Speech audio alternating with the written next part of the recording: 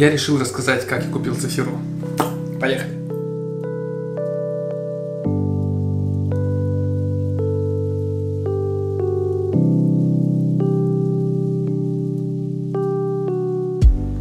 Я нашел ее на маркетплейсе, а, поехал забирать на Тхон Цитамарат. Не очень долго смотрел, даже устраивал опрос в Инстаграме. Сейчас меня еще можно отговорить. Я еще сомневаюсь.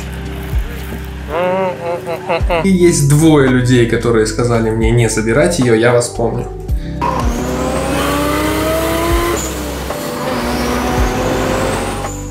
На самом деле я осознавал, что машине нужна куча доработок, она была предназначена для драга, а не для дрифта.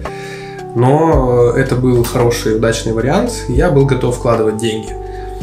После первых же тестов сломалась коробка, после чего я заменил ее на более жирную, дрифтовую.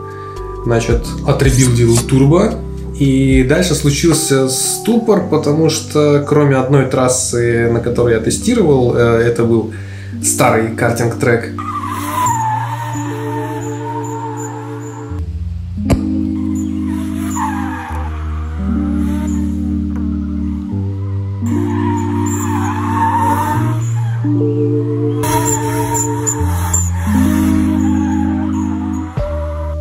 Больше, собственно, кататься было негде. Поэтому я решил съездить в Бангкок, посмотреть, что как, и возможно переселить машину туда, где есть сервисы и где есть трек. Так я познакомился с Пондом. Понд – чемпион Таиланда по дрифту.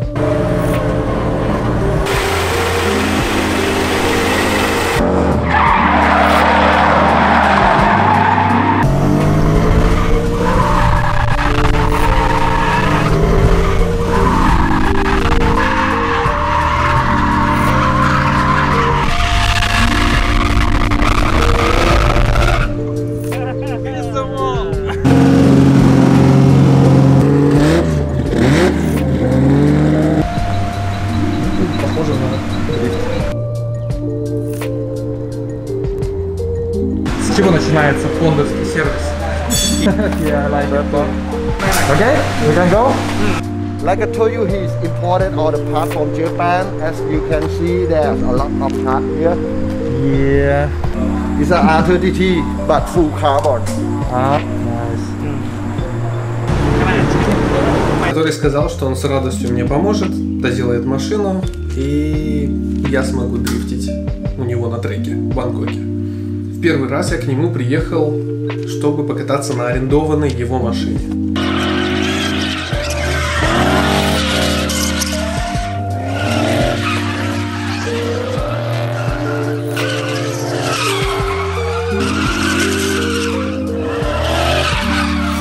Что да, Цифиру нужно везти в Бангкок, и варианта было два.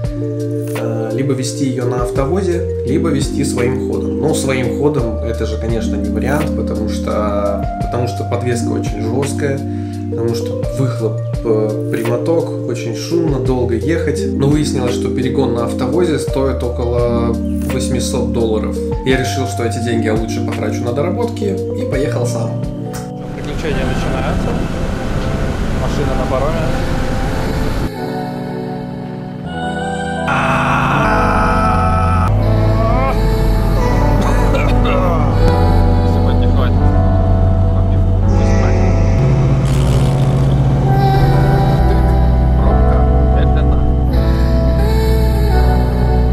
Приехал, оказалось, что как раз в эти дни э, проходит чемпионат. Чемпионат по дрифту на этом треке, и, соответственно, потестить машину я не смогу. Соответственно, все, что я смог, это оставить свою машину в сервисе и просто заснять, как катаются другие люди. Оставайся ты тут. You're